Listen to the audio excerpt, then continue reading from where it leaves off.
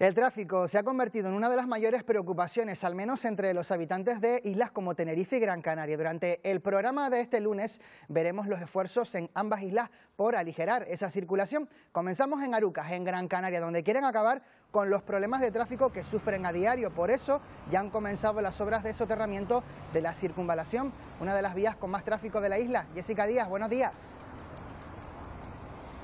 Buenos días Antonio, buenos días Canarias, y es esto uno de los puntos negros después de Las Palmas y Telde, pues Aruca, es justo esta rotonda que ven a mi espalda es uno de los puntos negros. 26.600 vehículos se estima que pasan por aquí a diario, como decíamos al principio, no solo son vecinos de Aruca, sino que por aquí también circulan vecinos de Firgas, Valle Seco, Teror, incluso de Artenara para ir a la capital. Para hablarnos de estas obras que acaban de comenzar, pues vamos a hablar con el alcalde de Aruca, con Juan Jesús Facundo. Buenos días. Buenos días después de muchos años pidiendo las obras, por fin comienza, ¿verdad? Sí, la verdad que ya era muy de esperar, mucho tiempo de, trabajo, agradecer al gobierno de Canarias, en el caso del consejero anterior, Sebastián Franquis, el empeño que tuvo, era una obra compleja en la redacción y sobre todo en la adquisición de los terrenos y creo que podemos estar muy contentos, satisfechos de que se inicie esta obra y que sobre todo en esos plazos de los 18 meses se cumplan y podamos ver la luz después a esta cantidad de vehículos que atraviesan esta Gran Canaria 20. ¿no?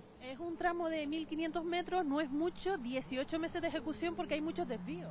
Sí, evidentemente hay que bajar la cota, hay que soterrar, hay que desviar el tráfico, eso va a traer también pues dificultades a la hora de desplazarnos y lo que permitimos pues siempre le decimos a los vecinos y vecinas y usuarios que tengan un poco de paciencia porque estas obras son necesarias para, para Arucas y también para los municipios limítrofes, ¿no?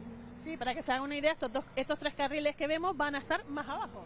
Sí, bajarán, se soterrarán y las, las rotondas quedarán a, altura por encima de ellas para poder acceder cómodamente a, lo que son los núcleos de población, entrada y salida de Arucas pero cualquiera que venga de Teror o que venga de Valle Seco, pues saldrá recto de Firga, recto de la Gran Canaria 20, a enlazar a la Gran Canaria 3 y la Gran Canaria 2.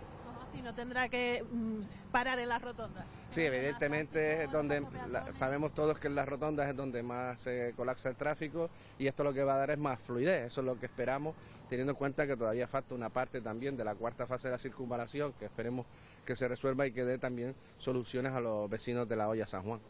Son 18 meses, bueno, estamos viendo que poco a poco se circula con normalidad, ya se está pasando la hora punta.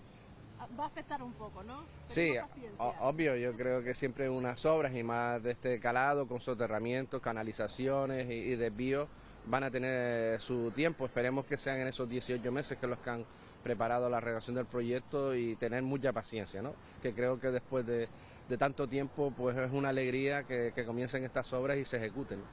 Y además que justo en esta rotonda ya linda con la Gran Canaria 3, ¿no? Con la circunvalación.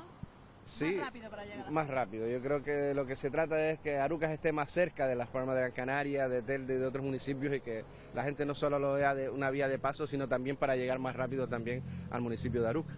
Pues alcalde, muchísimas gracias por atendernos. Gracias a ustedes.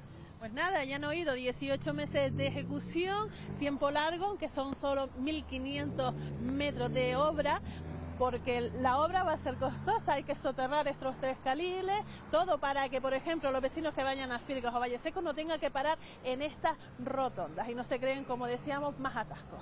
Pues estaremos pendientes a ese proyecto para mejorar la movilidad en ese municipio de Arucas. Gracias, Jessy. Buenos días. Buenos días.